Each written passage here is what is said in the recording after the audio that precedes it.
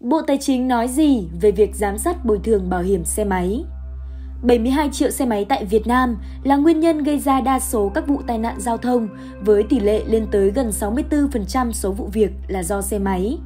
Đó là thông tin Bộ Tài chính đưa ra theo số liệu của Ủy ban An toàn Giao thông Quốc gia tính đến tháng 10 năm 2020. Theo Bộ Tài chính, chủ xe máy thường có thu nhập không cao, với mức phí bảo hiểm 55 đến 60 000 đồng nếu không may gây tai nạn đối với người thứ ba về sức khỏe, tính mạng sẽ được bảo hiểm chi trả tối đa 150 triệu đồng. Về tài sản sẽ được bảo hiểm chi trả tối đa 50 triệu đồng. Đặc biệt, với quy định tạm ứng bồi thường bảo hiểm lên tới 105 triệu đồng trong vòng 3 ngày kể từ khi nhận được thông báo tai nạn, nguồn tài chính sẽ được cung cấp nhanh chóng, kịp thời cho chủ xe máy hỗ trợ nạn nhân, gia đình nạn nhân khắc phục thiệt hại.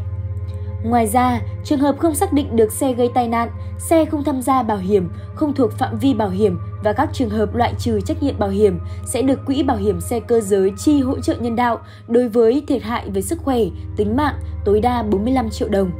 Cục Quản lý, Giám sát Bảo hiểm, Bộ Tài chính cho biết, trên cơ sở tổng kết, đánh giá thực tiễn thực hiện thời gian qua, Chính phủ đã ban hành Nghị định 03 năm 2021 về bảo hiểm bắt buộc trách nhiệm dân sự của chủ xe cơ giới. Theo Nghị định 03, chỉ thu nhập các tài liệu của cơ quan công an cho các vụ tai nạn gây tử vong đối với bên thứ ba và hành khách.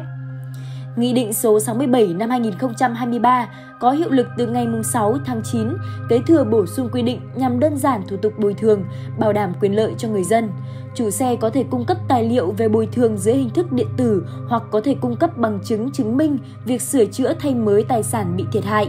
Trong vòng 3 ngày làm việc, doanh nghiệp bảo hiểm phải tạm ứng bồi thường đối với việc thiệt hại sức khỏe và tính mạng.